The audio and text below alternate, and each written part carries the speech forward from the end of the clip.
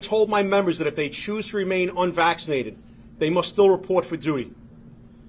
And if they are told that they cannot work, it will be the department and the city of New York that sends them home, and it'll be the department and the city of New York that has failed to protect the citizens of the city of New York. The blame will not be on New York City firefighters. The UFA at this time will explore all avenues to protect our members. We will work with the MLC and the other unions to fight this mandate and keep this a personal choice. We would also like to keep the testing option in place, which it seems that the city is now abandoning. It's working. It's an option we can all live with.